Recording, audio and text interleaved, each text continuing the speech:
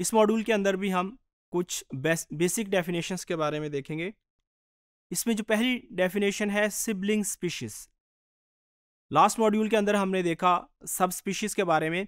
सब स्पीशीज़ के अंदर जो ऑर्गेनिजम्स होते हैं, वो मॉर्फोलॉजिकली एक दूसरे से डिफरेंट होते हैं, लेकिन रिप्रोडक्टिवली आइसोलेटेड नहीं होते।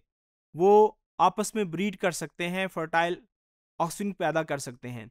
लेकिन सब सबलिंग स्पीशीज के जो मेंबर्स होते हैं दे आर मॉर्फोलॉजिकली सिमिलर देखने में ये एक जैसे होते हैं but they are reproductively isolated ये एक दूसरे के साथ इंटरब्रीड नहीं कर सकते। इसकी बहुत सारी एग्जाम्पल्स हैं। पहली जो इसकी एग्ज़ाम्पल ड्रोसोफिला परसी माइलिस और ड्रोसोफिला सूडो ऑब्सक्रा ये दो स्पीशीज सिबलिंग स्पीशीज की एग्ज़ाम्पल है। मॉर्फोलॉजिकली ये सेम है, लेकिन रिप्रोडक्टिवली आइसोलेटेड है, क्योंकि इनका जेनेटिक मेकअप डिफरेंट है, ये आपस में ब्रीड नहीं कर सकते, इस वजह से ये डिफरेंट स्पीशीज हैं। तो ऐसी स्पीशीज जो कि मॉर्फोलॉजिकली तो सेम हो, लेकिन रिप्रोडक्टिवली आइसोलेटेड हो, इनको हम सिबलिंग स्पीशीज कहते हैं। इसी तरीके से सिबलिंग स्पीशीज की एक और कॉमन एग्जांपल एनोफिलीस कॉम्प्लेक्स की है। एनोफिलीस कॉम्प्लेक्स के अंदर सिक्स स्पीशीज शामिल हैं। शुरू के अंदर ये ख्याल किया जाता था कि क्योंकि एनोफिलीस मॉस्किटो मलेरिया कास करने के अंदर शामिल हैं, ये मलेरिया कास करती हैं तो एनोफिलीस की क्योंकि सिक्स स्पीशीज थी और ये ख्याल किया जाता था कि ये सारी की सारी मलेरिया फैला सकते हैं और इनको एक ही स्पीशीज़ कंसिडर किया जाता था। बाद में जब डिटेल स्टडी की गई तो मालूम ये हुआ कि आल्दो के ये जो कम्प्लेक्स है, इसके अंदर जो मेंबर्स हैं, वो आपस में मार्फोलॉजिकली सिमिलर हैं, लेकिन ये रिप्रोडक्टिवली बिहेवियर इनका डिफरेंट है, इनका हैबिटेट डिफरेंट है और ये इंटरब्रीड नहीं करते। और ये एक स्पीशीज़ नहीं, बल्कि छः स्पीशीज़ हैं। बाद में ये भी मालूम हुआ कि इन छः में से सब की सब मलेरिया को स्प्रेड करने के अंदर इन्वॉल्व नहीं है, इनमें से तीन स्पीशीज़ हैं जो कि मलेरिया को आगे स्प्रेड करती हैं। इसी तरीके से जो नेक्स्ट डेफिनेशन है मोनोटिपिक स्पीशीज मोनोटिपिक स्पीशीज हम ऐसी स्पीशीज को कहते हैं जिसके अंदर एक ही सब स्पीशीज हो। यहाँ पे एग्ज़ाम्पल अगर देखें बारडाला लबार्डा बारडाला लबार्डा ये एक स्पाइडर की स्पीशीज है जो कि थ्री फैमिली से बिलोंग करती है। तो ये जो स्पाइडर की स्पीशीज है, इसकी एक ही स्पीशीज है, इस वजह से इसको मोनोटिपिक स्पीशीज कहते हैं। इसी तरीके से पोलिटिपिक स्पीशीज पोलिटिपिक स्पीशीज अगर किसी स्पीशीज के अंदर दो या दो से ज़्यादा सब स्पीशीज हों तो उसको हम पोलिटिपिक स्पीशीज कहते हैं। इसकी जो कॉमन एग्ज़ाम्पल है पेंथरा टाइग्रस ये टाइगर जो कि पेंथरा टाइग्रस है, इसकी सेवरल सब स्पीशीज मौजूद हैं।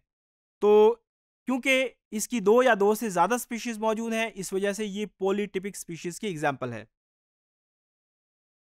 नेक्स्ट जो डेफिनेशन है इंडेमिक स्पीशीज इंडेमिक स्पीशीज से मुराद है ऐसी स्पीशीज जो कि किसी एक पार्टिकुलर रीजन के अंदर मौजूद हो।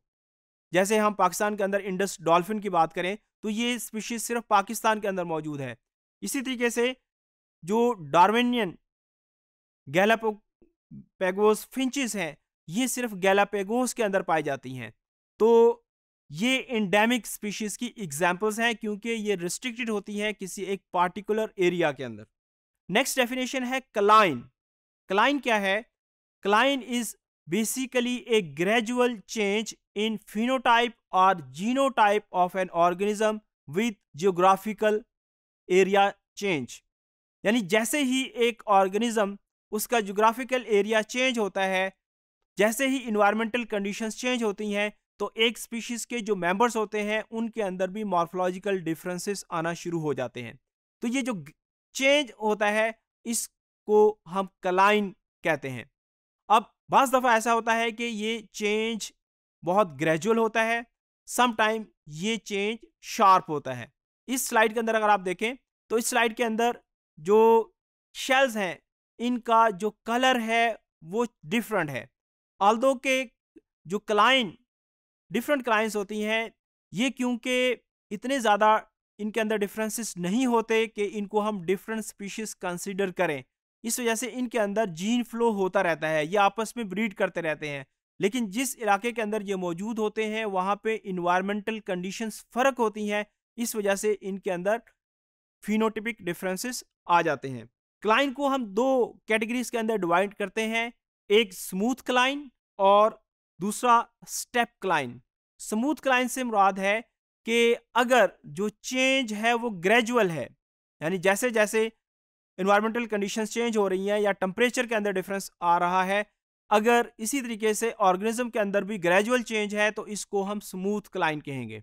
फॉर एग्ज़ाम्पल अगर हम मैदानी इलाके से हीली एरियाज़ की तरफ़ जाएँ तो जो जानवर हैं, इनके जो फर हैं, वो हिली एरियाज़ के ऊपर ज़्यादा होते हैं। जैसे जैसे हम नीचे की तरफ़ मैदानी इलाके के अंदर आएँ तो उनका नंबर कम होता है। क्योंकि जो हिली एरियाज़ हैं, वहाँ पर सर्दी होती है, ख़ासतौर पर सर्दियों के इलाके के अंदर, वहाँ पर फर ज़्यादा होते हैं।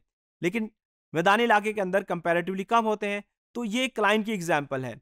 जबकि स्टेप क्लाइन की अगर हम बात करें तो स्टेप क्लाइन के अंदर जो चेंज आता है, वो शार्प आता है। ऐसा क्यों होता है? क्योंकि जो इन्वायरमेंटल कंडीशंस हैं सम टाइम अचानक से एक छोटे, एक एरिया है फॉर एग्ज़ाम्पल पचास किलोमीटर का तो उसके अंदर एक जगह पे टम्परेचर फॉर एग्ज़ाम्पल फोर्टी है, लेकिन उसी पचास किलोमीटर की बाउंड्री के अंदर कोई एक इलाका ऐसा है, जहाँ पे टम्परेचर ट्वेंटी है तो यहाँ पे ये एक ग्रेजुअल चेंज है तो इस टेम्परेचर डिफरेंस की वजह से यहाँ पे जो ऑर्गेनिजम्स होंगे, इनके जो करेक्टर्स होंगे, उसके अंदर भी शार्प चेंज आएगा। तो इस किस्म का जो चेंज जो कि सडन होता है या जो शार्प होता है, इसको हम स्टेप क्लाइन कहते हैं।